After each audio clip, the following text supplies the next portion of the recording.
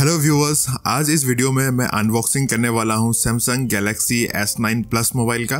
बताने वाला हूँ कि इस मोबाइल में क्या क्या एडवांटेजेस हैं क्या क्या फीचर्स हैं कैमरा क्या है बैटरी क्या है, इन सभी चीज़ों के बारे में मैं इस वीडियो में डिस्कस करने वाला हूँ। तो बने रहिए मेरे साथ इस वीडियो के एंड तक ताकि इस मोबाइल के सभी फीचर्स के बारे में आप जान पाए और इस मोबाइल को खरीदने या ना खरीदने के ऊपर एक डिसीज़न ले पाए। तो चलिए without wasting any time let's get started तो सबसे पहले बॉक्स को अनबॉक्स कर लेते हैं। ये है इसका बॉक्स तो इसको मैं खोल लेता हूँ। स्टिकर्स हटा देता हूँ। और ये मैंने बॉक्स को खोल लिया। सबसे ऊपर आपको ये छोटा सा बॉक्स मिलेगा। तो देखते हैं इसके अंदर क्या है। ये मैंने इसको खोल लिया। एंड इसके अंदर आपको मिल जाता है एक सिलिकॉन केस जिसका क्वालिटी एवरेज है, लेकिन प्राइस पॉइंट ऑफ़ व्यू से इतनी भी अच्छी नहीं है। एंड मिलते हैं ये इंस्ट्रक्शंस गाइड बुक जो कि कोई पढ़ता नहीं है तो उसको साइड कर देता हूँ। और ये है मेन यूनिट मोबाइल इसको मैं सामने का जो कवर है वो हटा लेता हूँ एंड पीछे का भी कवर मैं हटा देता हूँ. बिल क्वालिटी काफ़ी अच्छी है मेटल बॉडी है. इसके बारे में मैं वीडियो में बाद में डिस्कस करूँगा. इसके बाद यहाँ पे मिलता है ये चार्जिंग एडाप्टर जो कि फास्ट चार्ज कर सकता है. मतलब बहुत कम समय में आपके मोबाइल को काफ़ी अच्छी चार्जिंग दे देता है. क्वालिटी काफ़ी अच्छी है. ओके ये देख सकते हैं आप. और इसमें मिलता है ये अडेप्टर जिसके मदद से आप पेन ड्राइव्स वगैरह को अपने डिवाइस के साथ कनेक्ट कर सकते हो। इस डिवाइस में टाइप सी पोर्ट मिलता है तो इसीलिए ये जो अडेप्टर है वो काफ़ी यूज़फुल रहेगा आपके लिए। उसके बाद यहाँ पे मिल जाता है ये यू पोर्ट जिसके मदद से आप अपने डिवाइस को लैपटॉप पीसी के साथ कनेक्ट कर सकते हो एंड डिवाइस को चार्ज भी कर सकते हो। क्वालिटी काफ़ी अच्छी है बिल क्वालिटी और यहाँ पे मिल जाता है ये एयरफोन जो एक का है। इस डिवाइस में साउंड क्वालिटी काफ़ी अच्छी है तो आप म्यूज़िक वगैरह को काफ़ी एंजॉय करेंगे इसमें। ये देखिए। एक जी के हैं। और इसी के साथ कुछ एडिशनल आपको एयरबड्स मिल जाते हैं। ये देखिए एयरबड्स तीन चार पेयर मिलते हैं इसके अंदर, जो कि आप चेंज करके अपने एयरफोन में यूज़ कर सकते हो। तो ओवरऑल बॉक्स के साथ आपको ये सारे चीज़ें मिल जाते हैं। इस मोबाइल में मेटल बॉडी का यूज़ किया गया है, जिसके कारण ये मोबाइल को काफ़ी प्रीमियम लुक दे देता है। जब भी इस मोबाइल को आप होल्ड करोगे, आपको ऐसा फील होगा कि आप एक प्रीमियम मोबाइल यूज़ कर रहे हो।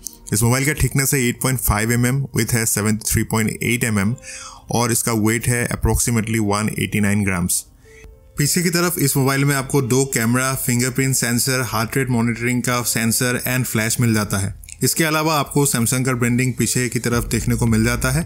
ऊपर की तरफ़ है हाइब्रिड सिम स्लॉट जहाँ पे आप एक सिम एक मेमोरी कार्ड या फिर दो सिम एक साथ यूज़ कर सकते हो और मिलता है वॉल्यूम आउटपुट का पॉइंट राइट हैंड साइड में आपको मिलता है फ़िज़िकल पावर बटन इसके अलावा राइट हैंड साइड में आपको और कोई फ़िज़िकल बटन दिखाई नहीं देगा। नीचे की तरफ़ आपको देखने को मिलता है speaker microphone U USB type C port and audio के लिए 3.5 पॉइंट mm का आउटपुट देखने को मिल जाता है। लेफ़्ट हैंड साइड में आपको देखने को मिलेगा वॉल्यूम रॉकर का बटन एंड उसके नीचे डेडिकेटेड बिग का एक फ़िज़िकल बटन आपको देखने को मिल जाता है।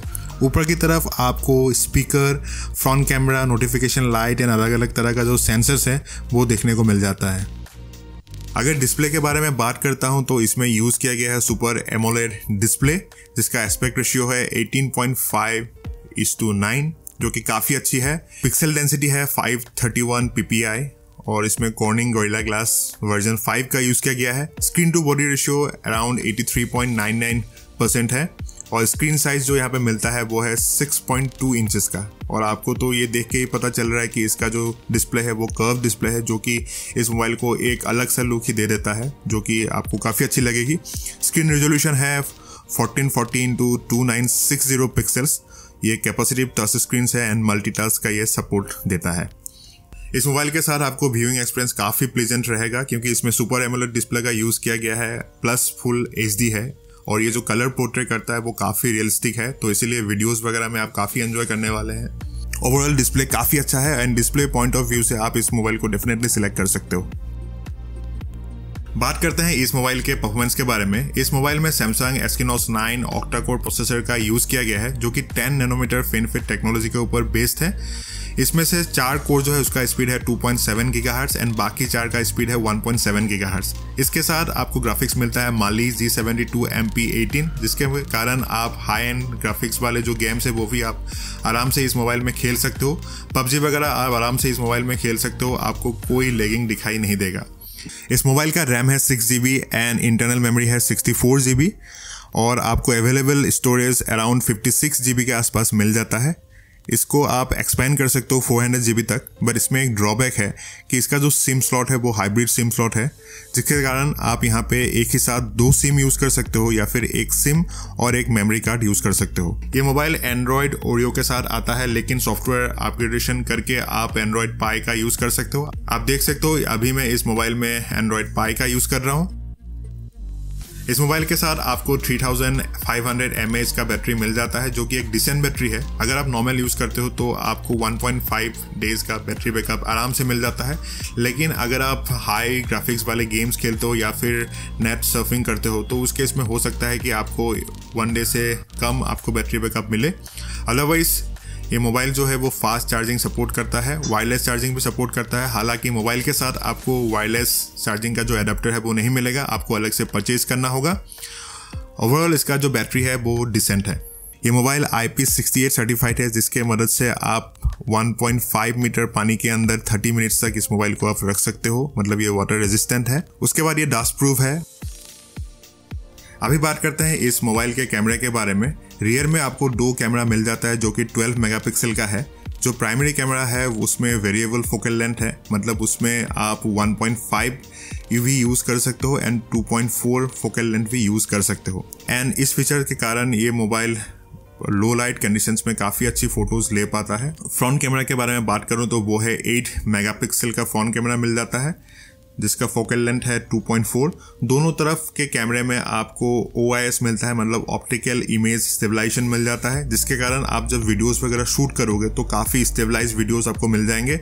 उसका जो रियर कैमरा है वो सुपर स्लो मो शूट कर सकता है, जो कि आपके वीडियोज़ को एक एडिशनल लुक्स देने में काफ़ी हेल्पफुल रहता है।